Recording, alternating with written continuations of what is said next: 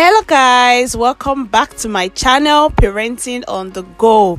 In this video i'll be showing you how i make my chocolate spread for bread in less than one minute guys using recipes you already have at home. Trust me it's very yummy and great for the family. So let's dive in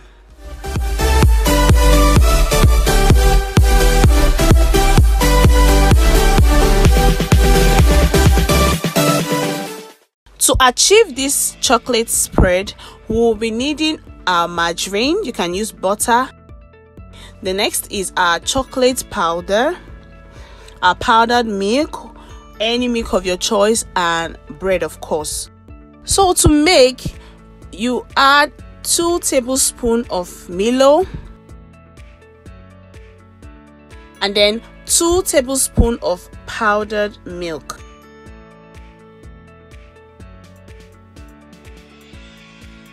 When you add these two ingredients, you start stirring.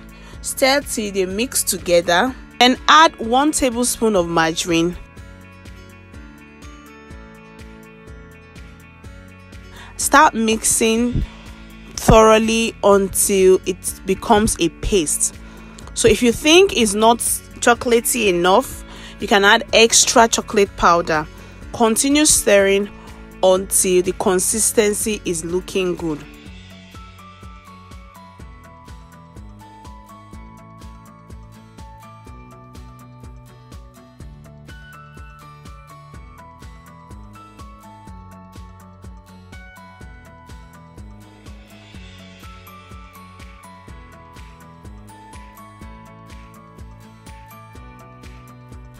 So as you can see guys this is looking good already.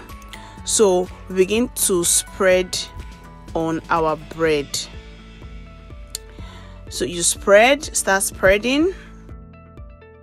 If you have not subscribed to our channel yet please make out time to subscribe. Hit the red button right now. Support our channel. Please it's very very important you can also decide to toast your bread, but my kids don't like toasted bread that much, so I'm going to be giving them like this.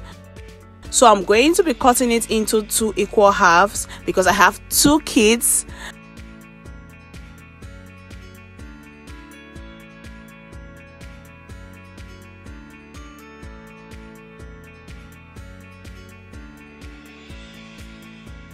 guys see how yummy this looks. It looks so good. You need to try this out. Thank you so much for watching. See you in my next video. Bye